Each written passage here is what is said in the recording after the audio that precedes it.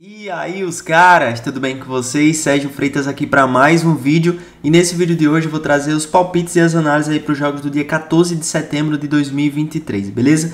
E antes de eu deixar os palpites aqui, quero pedir que vocês deixem o like, se inscrevem no canal, ativem as notificações porque sempre que eu postar vídeo você vai estar recebendo e não vai perder nenhuma dica de aposta. Hoje eu tô aqui com a camisa do Alnazi para poder estrear os palpites do Campeonato Árabe, um campeonato que está chamando muita atenção, está levando muitos craques, então vamos dar uma atenção a essa competição também, trazer algumas análises, algumas opiniões aí é, sobre os jogos para vocês.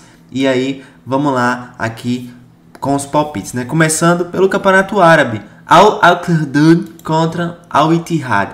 Nessa partida aí, nós temos um time que tem grandes investimentos, trouxe o Benzema, o Kanté, entre outros craques, que é o Al Ittihad vai jogar fora de casa, é grande favorito para essa partida, tem odds de 1,13 aqui na vitória dele. E nessas odds não gosto de trabalhar, né? Porque são muito baixas, por mais que o time seja favorito. Um mercado que me chamou a atenção foi o acima de 2,5. Por quê? Nos últimos jogos, dentro do campeonato, nessa temporada dessa competição árabe, é, o time do Al Ittihad ah, bateu acima de 2,5 em todos os jogos, principalmente jogando fora de casa. Então acredito no acima de 2,5. Lá na 188bet paga 1,50. Então essa é a minha primeira dica que eu deixo para vocês. Depois nós vamos lá para o jogo do Alweda contra o Damac. E nessa partida aí, o Alweda dentro de casa tem um leve favoritismo, né? É, com o mando de campo ali, ó. É um time que nos últimos jogos, bota aqui tabela de classificação. Tá, vocês não estão vendo porque eu não estou filmando a tabela de classificação, só os jogos. É o nono colocado, o Damac é o 16 na zona de rebaixamento. O Damac ainda não venceu na competição e é um time que é um pouco mais limitado. Né? Então, a Ueda para vencer, odds de 1,98 lá na 88bet. Essa é a minha dica que eu deixo para vocês.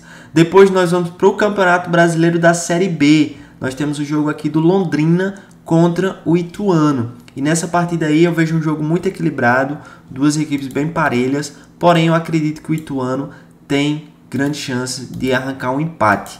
É, o Campeonato Brasileiro da Série B é um campeonato de muito equilíbrio. Vocês podem ver aqui é, a diferença de pontos de umas equipes para outras, né, de acordo com a tabela aqui, é muito baixa. Né? Nós temos quase 10, pontua 10 posições de diferença para uma pontuação de 10 pontos. Então, é Ituano fora de casa, dupla chance é a minha sugestão de aposta. Acredito que o Ituano possa arrancar um empate, beleza?